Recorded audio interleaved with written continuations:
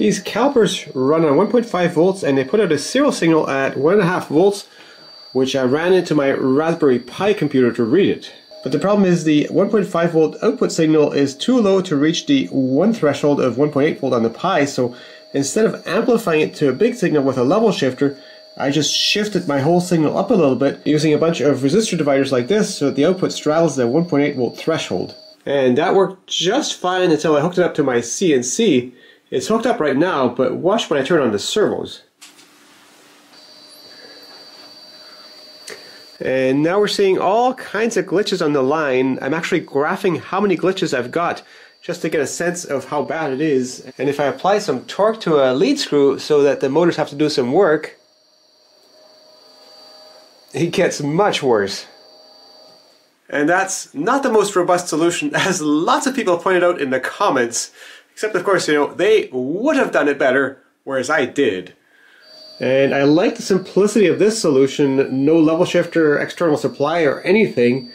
I just want to see if I can make that a bit more robust without redoing it. So now I've got this scope at half a volt per division, and I'm just going to hold the probe near some of these things, like these things for the servos, the servo controllers.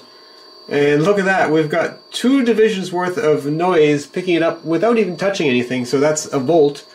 And holding it near the Pi, a whole bunch of noise again and let's probe around this power supply. Just crazy amounts of noise. That's uh, three divisions worth and again not touching it just holding a probe nearby. So let's actually try touching the probe to some of this stuff. Uh, touch it on here. And okay we have to scale that way way back. So now we're at 5 volt per division and touching that thing so yeah, we got a good 20 volts worth of oscillation on there and a Pi. Yeah, a lot of oscillations. That's, yeah, that's uh, about 15 volts worth of oscillation. So lots of noise in the system. It's kind of a surprise it works at all. Now my power lead for the servo controls and such does have a ground on it here and I hooked that up to the ground of the power supply and the ground of the motors, but the supply itself, the negative rail, is not grounded. So let's try fixing that. So looking on here, it's graphing a glitch count quite a lot. Let's try grounding this thing here. And that didn't help at all. Okay, another ground lead, and I'll clip that to my Pi. And Strangely enough, it still didn't help any at all. So now if I probe the Pi itself, the ground on that one, we still see quite a bit of stuff that's almost two divisions worth, so about 10 volts because it's 5 volts per division. So maybe that's why the ground's not helping much. It's just too much high frequency stuff. So next experiment, connect to the Pi's ground, which is now floating again, through a tiny little capacitor because the uh, caliper's ground is not the same as the Pi's, and clip that on here and the glitch rate is down a lot from what it was before. So let me just take that off again. Off now. Yeah the glitch rate has gone up quite a lot. So that's definitely something that helps. But I don't need to run a separate wire so I've got my ground capacitor on here and I'm just going to touch it to this thing here and watching this. Now it's touching. Glitch rate has gone down quite a lot. Pull it away. Glitch rate up touch it again, glitch right down. And that's because this little wire here that I'm touching it to, this wire here, actually goes to the caliper's frame. So I should have just put a capacitor on here and that would have solved the problem a lot. Now if the caliper's output voltage was higher, then I'd need more noise to swamp it out, and this is where a level shifter would be really good, but I don't want to add one of those, but I'm wondering, can I run those calipers at a higher voltage? These are the same kind of calipers running at 1.53 volts off of this power supply. And here's my serial output. And let's try cranking up the voltage a little bit and watch that serial output. Oh, and it gets bigger. Excellent. And that's now at 2.05 volts and the calipers are still working. So let's crank it up some more. Still working.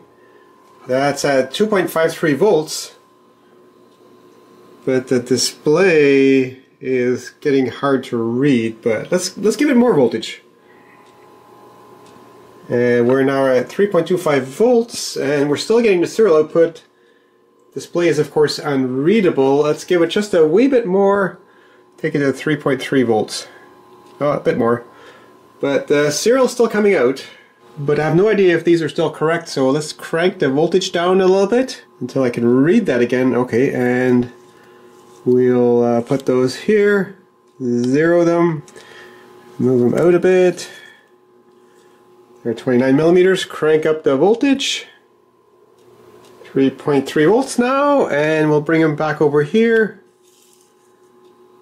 And so that should be at just a few millimeters, except I can't read it, so now I'll turn down the voltage a little bit. Oh, and that's totally wrong. hmm. So I repeated my experiment, and this time it worked. The problem is these aren't actually screwed on, and when this is not on here, that can really mess it up a lot regardless of the voltage. See, now it's 41, even though it actually hasn't moved. So I just had this jiggling around too much before. So it does actually maintain position at 3.3 volts. Highest voltage still readable on the caliper is about 2.4 volts, and I like having that display so I figure I should aim for a voltage of maybe 2.1 to 2.3 volts. So I got that breadboarded up with my new resistor divider and that's working pretty good, no glitches. And now powering up the servos. Still no glitches. Let's apply a little bit of torque to a servo. Uh, we do have glitches now. So that might be a slight improvement.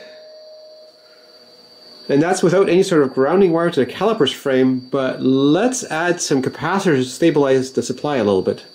So I'm going to put 0.1 microfarads between the negative supply and ground on here. Ah, being careful not to touch this resistor. Try that again. And for good measure, I'll do the same thing on the plus side between ground and caliper plus. So now with the servos on, we're only seeing very occasional glitches. Actually, this one here is late, means because this guy's not running real time. Uh, and applying a little bit of torque to the motor, I'm seeing a small number of glitches, not nearly as bad as before. So I put some scope probes on the clock and data lines, and here's what's coming out of this, just zoomed in a bit. Uh, here's the whole clock thing, but uh, I'm zooming in on this to try to catch some of these glitches. These bumps seem to be just coming from the calipers, but we can see there's a little bit of spikes on there. So just zoomed in on part of this, I'm now going to apply a bit of torque to the servos, and we can see all kinds of little spikes on there on both the clock and data line, and they seem to be very high frequency sort of spikes. And I captured a little bit of that, and Let's just try to zoom in on that a little bit. We've got a bunch of spikes here. And these seem to be very high frequency, not that large, although the scope actually also dampens it a little bit. But uh, so we kind of should filter out these high frequencies here. And I put my cursors on one wavelength of this little spike thing here, and that's at 35 megahertz. So that's well out of band compared to the signals that we're actually looking for. I just added an RC filter using 470 picofarad caps and 1K resistors. And I'm seeing the clock and data lines are a little bit slurred. Um, still decoding just fine, but I'm still picking up glitches, especially if I torque the servo motor a little bit. There, glitches galore, so this filter is not really helping that much. And I should really increase the bandwidth of that filter to not distort my signal so much. And that would mean reducing the capacitance or the resistance, but I'm already using the smallest caps I've got, and I don't want to go below 1K because that's just loading the caliper output too much. But the digital inputs on the Pi have a very small amount of capacitance, so let's just get rid of those caps and put bigger resistors in here. And with those caps pulled, I get fewer errors, which is to say that filter wasn't helping any at all. But we're back to seeing at the very least the crosstalk glitches on here, and the occasional little bit of high frequency stuff here. And with the caps gone and the resistors swapped to 33 k ohm resistors, we're back to seeing some slurring on here.